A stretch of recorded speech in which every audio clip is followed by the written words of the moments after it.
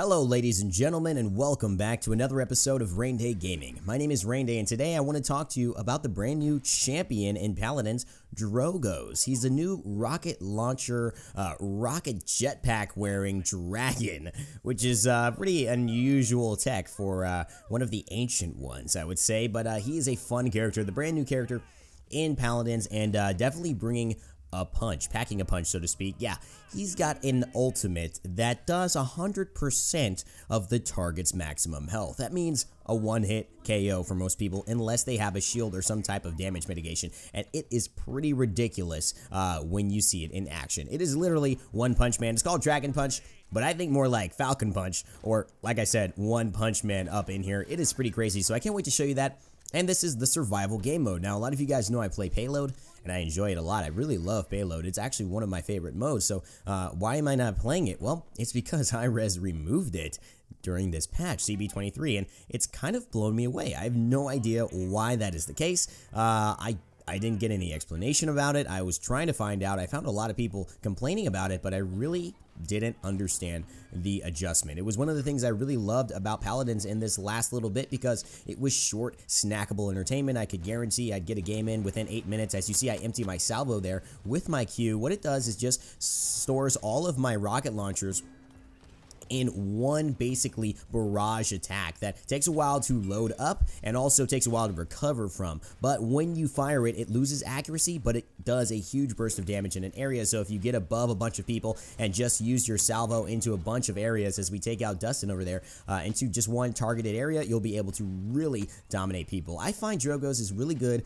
at uh, dominating points, at really spacing people out with his expectorate, his little loogie right there, and hitting a rocket launcher onto that, which will actually actually allow expectorate to explode. And uh, as you see the fog here creeping in from survival, I'm actually on the edge, so I'm trying to make it towards the center. Looks like we will have an opportunity, and I get up into the air, and this is a good thing for me. I empty my salvo, I do die, but Barik is enough, it seems like, to help us win this round. Although I did not get it, that is one of the examples of how, you know, he can have a lot of point presence and again, let's get back to uh, really just talking about how I was very upset to find that Payload was not in this map. I don't really understand, and I think Hi-Rez should do well in keeping modes that give short, snackable ways for people who are busy to keep enjoying their game and stay connected. You might have just eliminated a lot of people who have other priorities with games, such as myself with Smite, and can't spend as much time on Paladins as they would like to, and also other people who are just busy, want to game for a little bit, maybe have some time and know you have a new character out, but can't spend 30 minutes playing a game.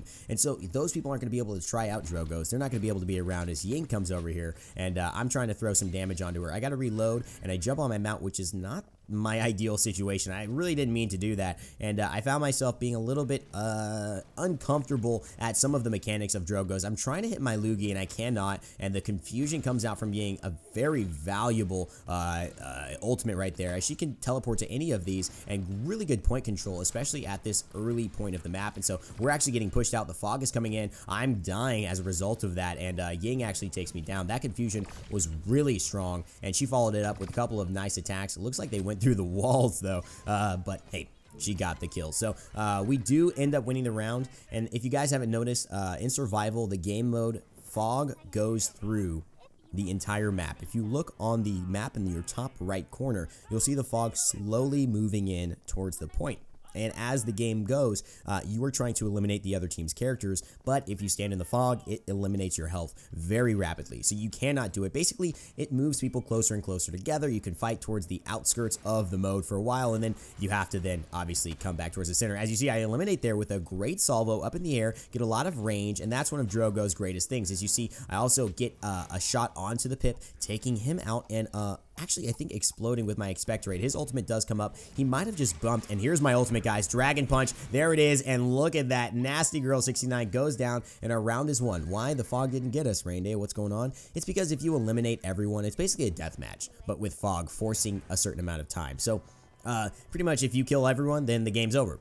And the thing is, this is a good substitute for me because, yes, okay, uh, there's a certain amount of time it takes for the fog to get there. It's kind of allotted that that's going to be the case. But the thing that can be make this long is that if I win three rounds and then they win three rounds, then I win a round, they win a round, I win a round. I mean, that could be nine rounds of this that we play, and that's quite a lot of time. I mean, it's definitely more than the six to eight minute max games that Payload used to be. And so I find myself still really missing that new mode, uh, and uh, I hope they bring it back. I really do. Obviously, it's their game. They can choose what to do, but I think it's great to obviously give people who enjoy your game an opportunity to enjoy it at the at the level, at the time frame that they feel uh, they're able to. Like I mentioned with Smite, I wouldn't be playing Smite if it wasn't for Arena because of the time constraints. I jump up here and get some damage onto Ying, and uh, actually am hitting her, and she's locked in a corner, so she's going to be going down as well. Doggy Bones takes the kill, uh, takes the death, and uh, is over here trying to charge up, but it's not enough. I get some aerial height there, and I take him out, and again, the round is won. Now, with Drogoz, you can see he's very good at obviously uh, doing some splash damage. His, his gun hits quite a lot. It's a slower firing gun, and the uh, propulsion of it is rather slower as well. So not only will it reload and cock and aim slower, it will uh, fire slower. So you're going to have much more range closer, and when you're trying to get above people and splashing down onto them, than if you're trying to hit somebody from long range like Cassie or Kinessa. You're going to lose a lot of accuracy there. It's going to be a lot harder to do it. Now, Expectorate is his loogie. He spits out that little ball, and what happens if it lands on someone? You do additional damage to them. But if you explode your Expectorate, as the Salvo there really ruins Pip, and I'm confused, and again, this Ying just dominates the same map. She got this ultimate again. I don't know whether it's just luck, but I'm forced out because it's doing too much damage. I'm confused. I don't know who's my teammates, who are my enemies, and uh, I'm in trouble here. I've only got 360 health. I can't get out. I tried to thrust away, and that's the case. But uh, it looks like we are not going to win this round. So they do get a round off of off of us, and uh, hopefully we don't have to turn this around. I would love to just finish this up quickly. Um, but uh, if you hit the expectorate, it will knock people back in the area. You could build cards around expectorate. Um, I'm actually using the deck right now that does do that, and it, it also it will make that knockback a lot bigger. So you can use it, spit your loogie down, the expectorate, and hit it with one of your rockets, and that will blow people back off the point. Um, another thing I've done a lot is you use your boost, which can be used with space where he's got a passive like rocket launcher, right? So he's he can kind of get himself a passive jetpack boost up. It's not very big, but it's a passive, and but his F will launch him very far up. And his, his spacebar, if you keep it with F in tandem, will keep him up for quite a while in that area as we're just going ahead and doing it. I don't get the damage onto the expectorate. I literally haven't hit it once this game, so I'm a little sad that that's not the case. I haven't been able to show you guys that too well, but again, it's still pretty cool, and uh, you get the gist of what it is. My ultimate is up now. I go into the bushes. I am hidden, and I want to use it onto that Ying. I'm heading over, and bam! One punch, and it's all over. I hit the expectorate, but it doesn't matter. The Pip is the only one left. I want to get some area damage, but I'm reloading still. Quite a long reload time. I'm going onto the Pip. We got some splash damage, and we win the game. Now, survival is a pretty fun mode.